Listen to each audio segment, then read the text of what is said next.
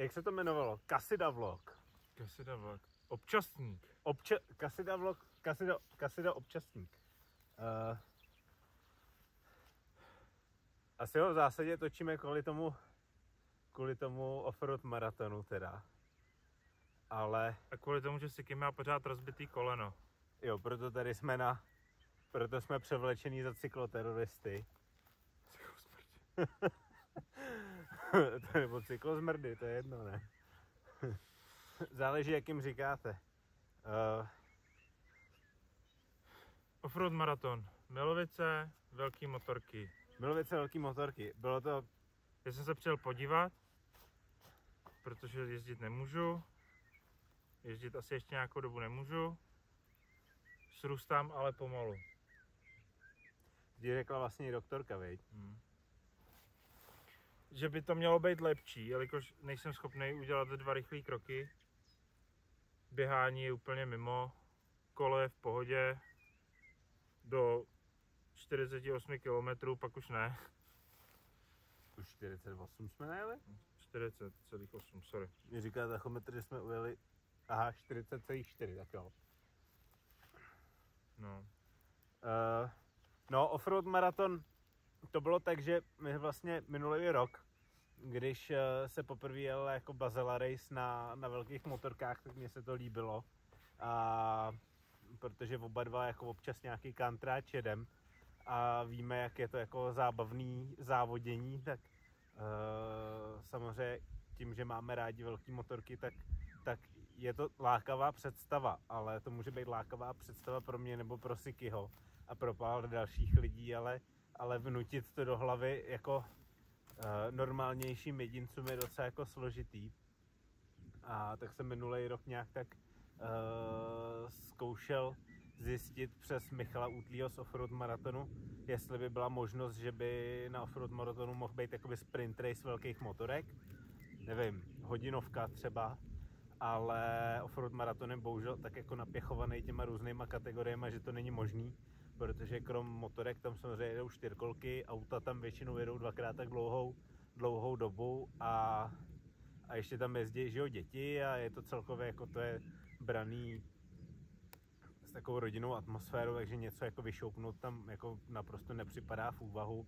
A kdyby se to tam snažilo vměstnat, tak auta pojedou potom uh, většinu závodů v noci a, a Což by klidně mohli, protože mají světýlka. mají světýlka, ale, ale myslím si, že v rámci jako startovního a kolik těch peněz do toho ty auta vnáší, tak to není úplně jako uh, na pořadu dne nasírat zrovna, zrovna autaře a, a no, takže jsem to měl jako za uzavřený a vlastně mi uh, Rumas uh, ten, ten rok mi nějak jsme se dali dohromady, říkal, hele, já jsem přemýšlel, že by se mu dělal cross country pro těžký. Říkám, hele, uh, já už jsem to zjišťoval minulý rok, jak by to bylo v rámci offroad maratonu a, a prostě oni nás nechají jet, ale jako se společnými motorkama, že by nám třeba udělali kategorii, tak. Mi říkají, hele, tak pojďme to udělat jako testovací závod, kolik lidí se tam vlastně vůbec jako uh, rozhodne tam závodit na takovýhle akci a, a jestli to ty lidi bude bavit a když je to bude bavit, tak bychom třeba na to mohli navázat jako čistě nějakou akcí přímo pro velké motorky, ale to je zatím jako ve fázi Hudba budoucnosti. hudba budoucnosti, jestli se chce, nechce a že to by se jako uviděl. Nicméně jsme se domluvili, že dva ty závody v tom kalendáři eh, by na to byly vhodný a to je jako Milovice a Hodonín, protože to jsou obě velký tratě, široký a, a ty velké motorky nebylo by to úplně jako nějaký motání se mezi stromama, je to tam jako hodně roztahaný, takže tam toho prostoru na to je relativně dost. A A jeli se Milovice. a jeli se Milovice, no. My jsme trošku jako, my jsme založili facebookovou událost, eh, kde se to těm lidem řeklo, snažili jsme se to jako sdílet do různých skupin, aby se o tom dozvědělo co nejvíc lidí. Samozřejmě bohužel se to jako krylo s nějakýma jinýma akcema, takže kluci, který známe jako z Moravy a z, ze, ze Slovenska, tak třeba co jezdí jakoby na český akce, tak ty nedorazili, protože se tam pořádala ně- nějaká jiná věc, ale i tak vlastně se na tom startu objevilo 25 motorek, jako mixu dvouválců a jednoválců, což byla v zásadě Motorek, jako který tam prostě nepatří. motorek, který tam prostě nepatří. A vlastně my jsme v rámci nějaký, uh, nějaký diskuze na to, na té facebookové události jsme uh, označili Davida Pabišku. Kdy jo, to tam Rumas vlastně tam dával nějaký video z toho Bazela Race, kde tam jezdí ten, ten Španěl na tom Harley, co jel Eco, Race a dojel 15. A bylo tam napsané něco jako tohle to chceme vidět v Milovicích. No a, A David Pabiška se ukázal. no a my jsme tam tegli S Davida, Pabi. Davida Pabišku, že to by se tam musel po- objevit on a, a David to jako k údivu všech lidí, lidí hecnul, což bylo jako strašně fajn. V zaváděcím kole ztratil blatník. no a přesunuli jsme se teda na, na, do Milovic, tam byla prostě klasický, klasický Milovice offroad maraton, Stejný jako vždycky, ale bylo to trošku změněný včetně nějaký. panelové cesty. Panelka tam byla, panelka je třeba, že jo, tam se člověk potřebuje napít.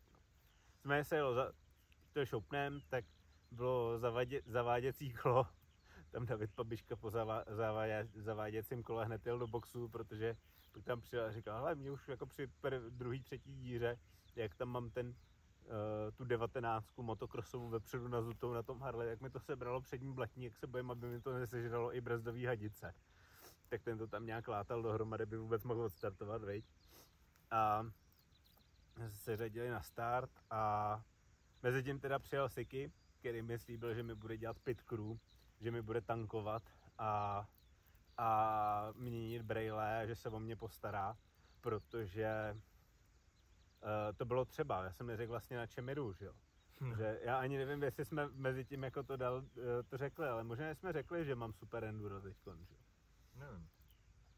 No prostě se nějak jako ve zkratce stalo, že mám v garáži super enduro a samozřejmě, Který je tvoje? který je, který je moje.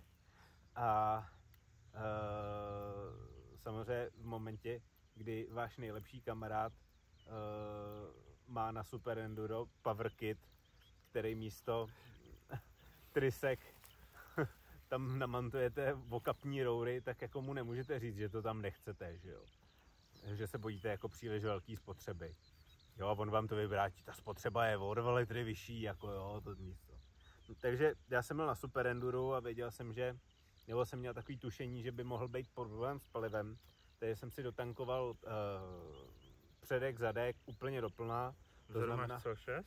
vzadu mám nějakých pět a půl, protože když to ten člověk tam se snažil napasovat tu super endurovou sedačku, jak do toho mlátil gumovou palicí a zmenšil objem té nádrže o půl litru. Takže vepředu 14 a vzadu 5,5, takže máš 19,5 litru. Takže mám 19,5 litru nádrž.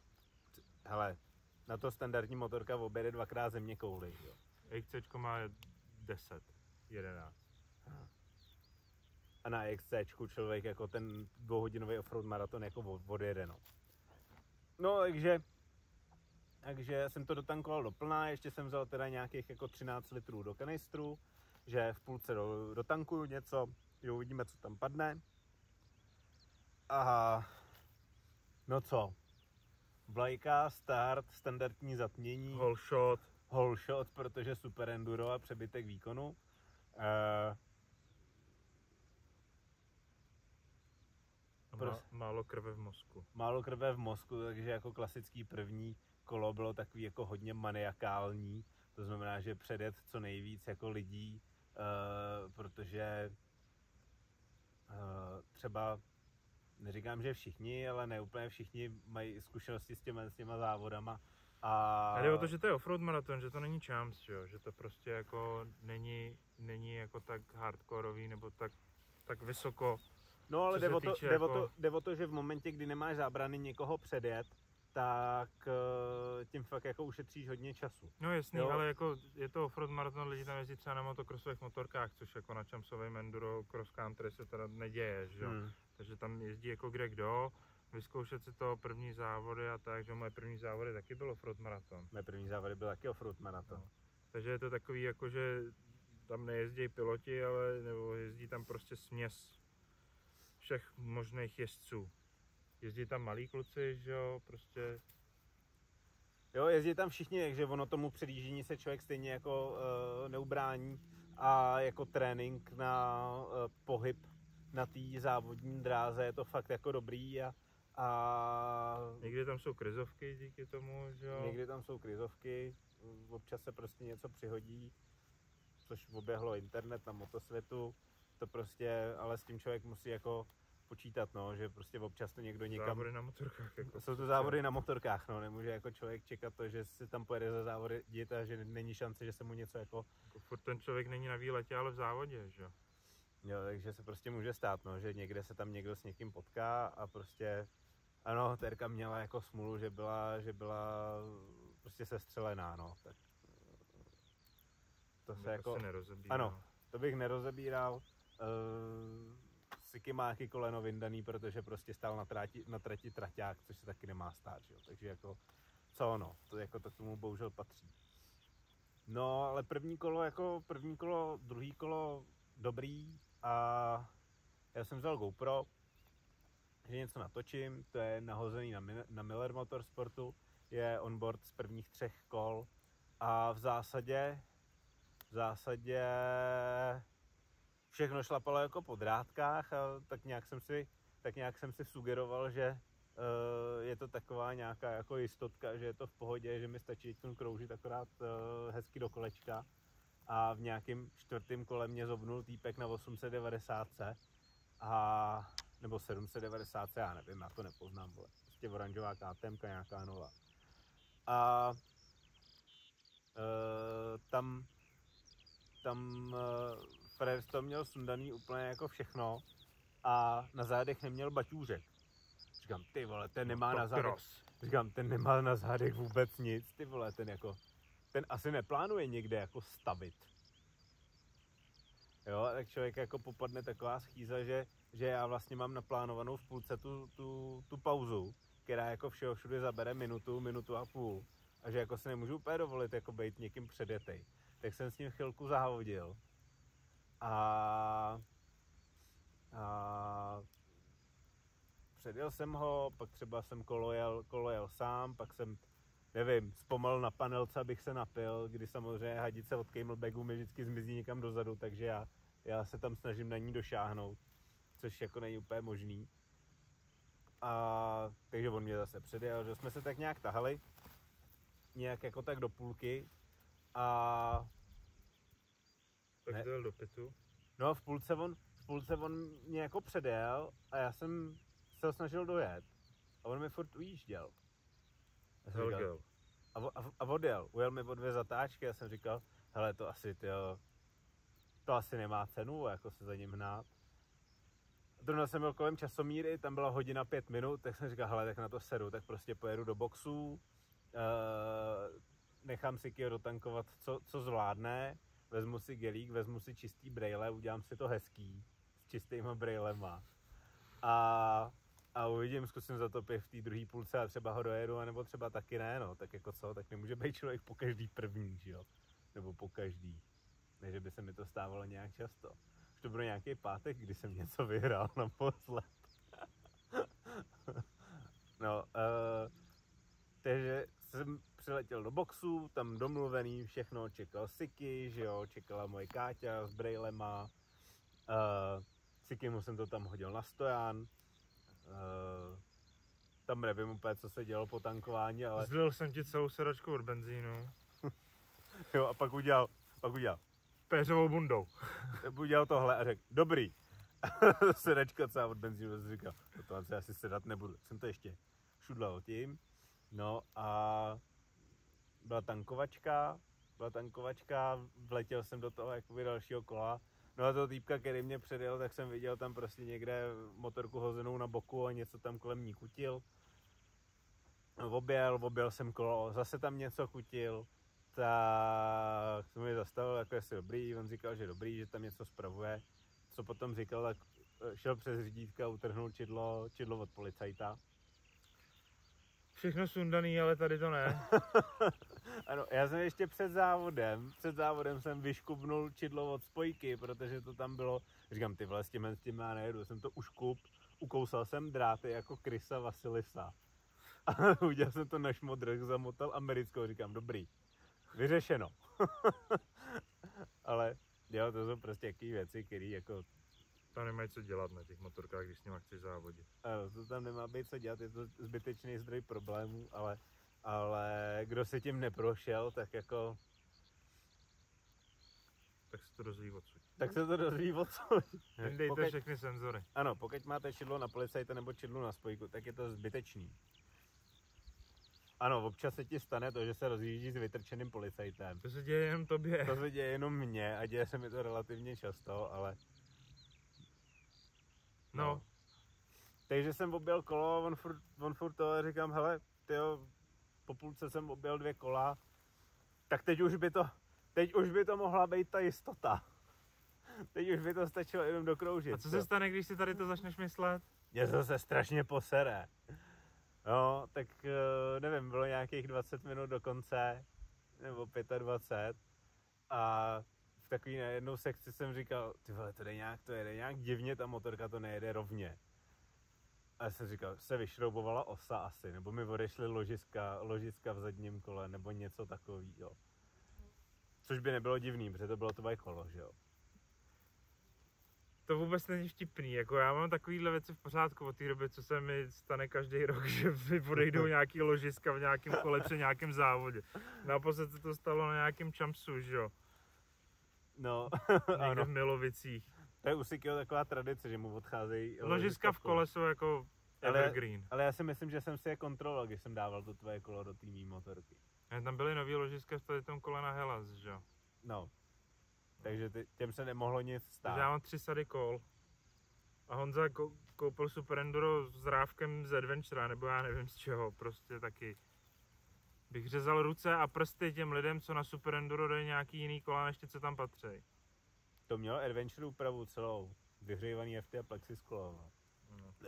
A tacho, ten otáčkoměr. Ten jsem nesundal ještě, ale ten půjde, protože občas funguje, občas ne. A je Víš to proč?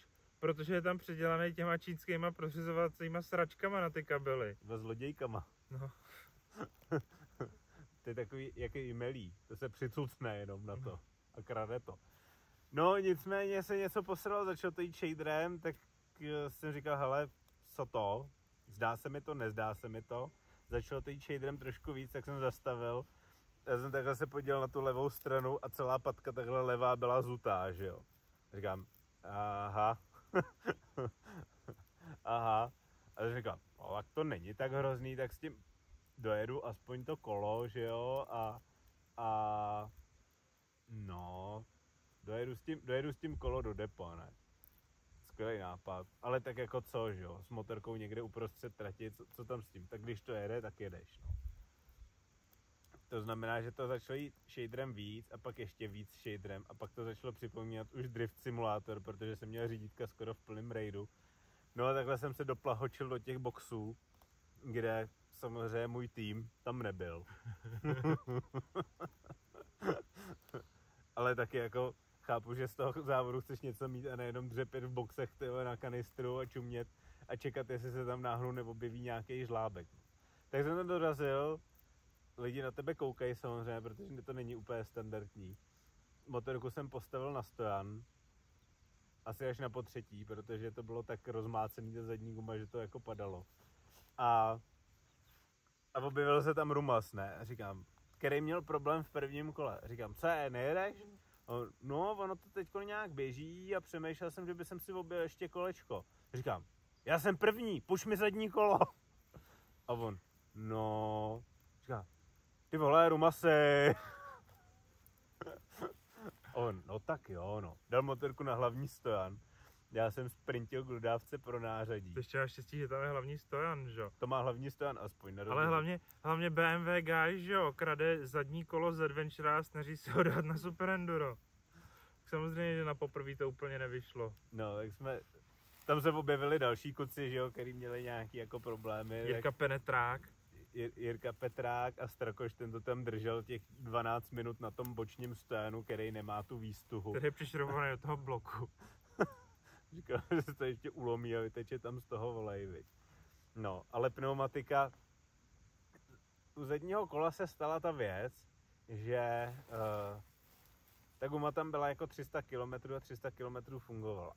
No a asi nejspíš Super Enduro má příliš výkonu a prostě příliš výkonu a ten halter si myslím, no. Přetrhnul si kort, no. Prostě jsem přetrhnul ten kort na té levé straně a ten drát se namotal do rozety, jakhle ho to vytáhlo z té gumy a ta guma se zula, že jo. A rozřízlo to ještě tu patku té gumy, že? No a celá ta guma se rozpárala vlastně až jakoby do, do půlky toho profilu. Muse po smrti. Ano, zavraždilo to úplně nový Muse, takže taky jako uh, zaplakala peněženka. No, jak jsme tam dělali, ty, ty vole, my jsme museli vypadat jak amatéři, tyjo, když jsme měnili to kolo. Jako přehodit... Já jsem tam přiběh a viděl jsem, jak tam mlátíte do té osy. Já do toho ču, na to čumím a vidím, že na té ose je ta matice.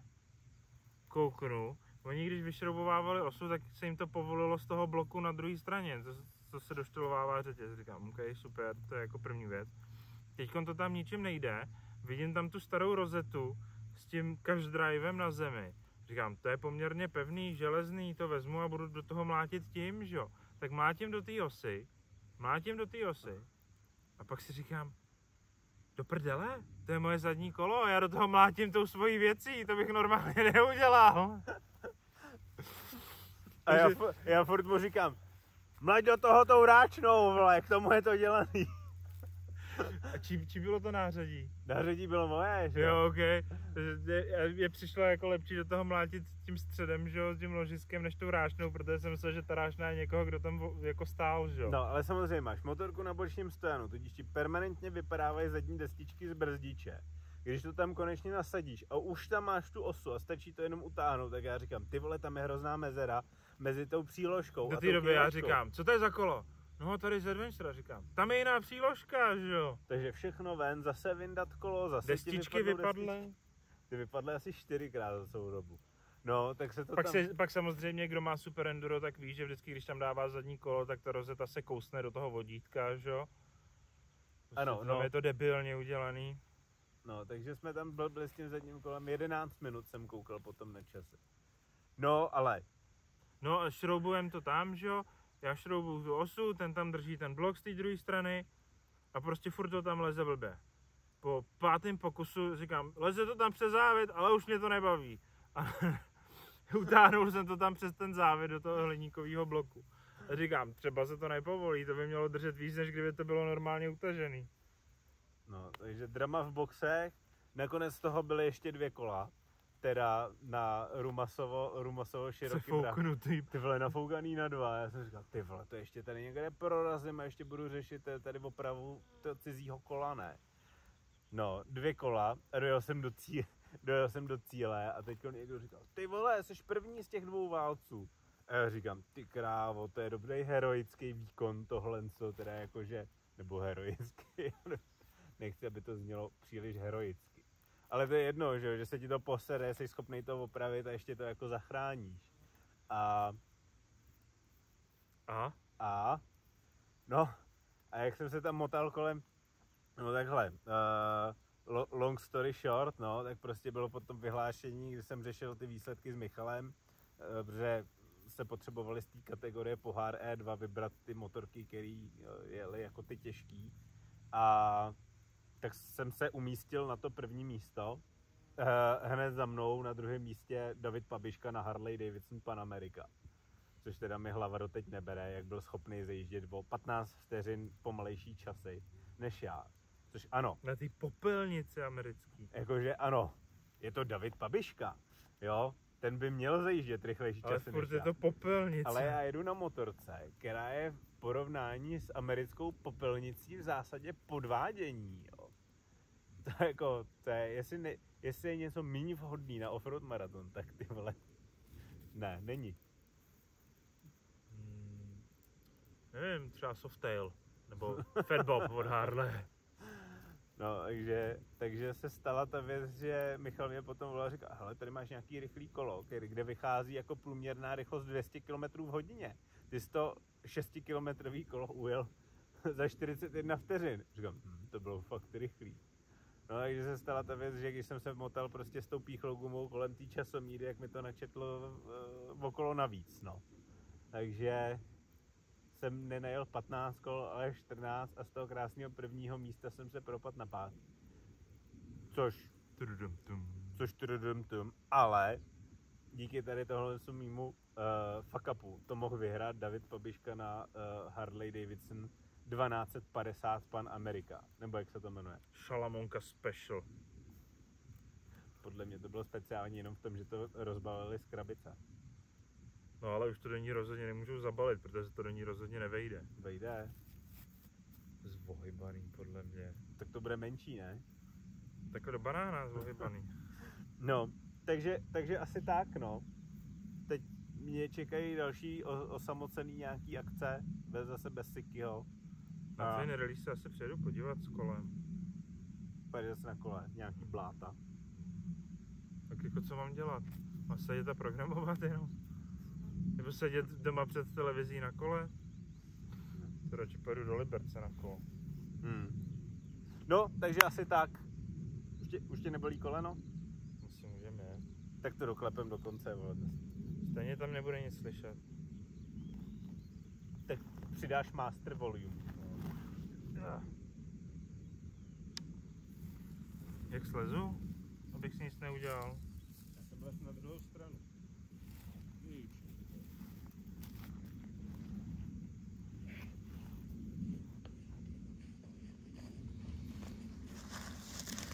Nahráváte pořád? Jo, jo.